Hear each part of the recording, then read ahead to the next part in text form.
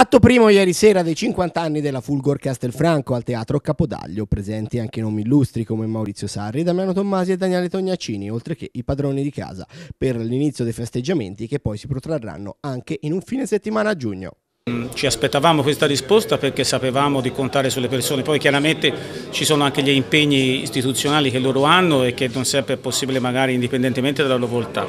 Ma l'importante è che siano degni rappresentanti di quello che è anche il nostro obiettivo, eh, che è quello di attraverso lo sport di poter raggiungere anche altri elementi, l'obiettivo della persona, dell'educazione e della formazione.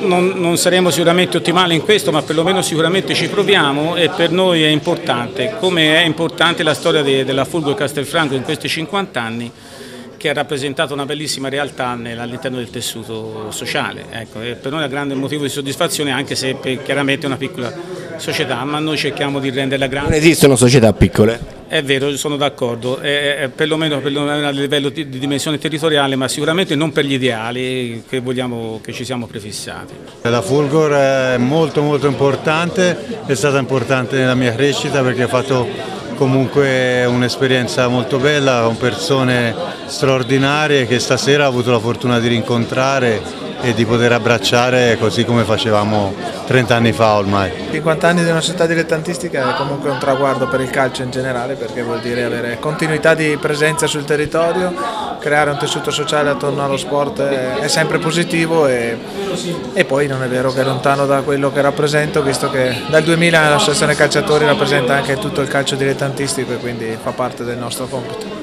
Battuta velocissima, sarà la stagione della rivoluzione con le seconde squadre Lega Pro? Ma, eh, I progetti veri non si possono vedere come risultati nel brevissimo termine. Maurizio Sarri, ancora tesserato Napoli, non può rilasciare interviste, così però abbiamo potuto cogliere il suo saluto alla Fulgor. Le realtà di, di, di società dilettanti che poi a tratti hanno fatto anche professionisti o alcune a Valdarno e sono tutte realtà che sono state realtà importanti se penso alla mia generazione cioè, ci hanno fatto crescere in maniera vera, sana, seria, rispetto delle regole, rispetto dei compagni, quindi tanta tanta roba e penso sia così anche adesso. E la base e l'essenza del calcio e dello sport è in queste società.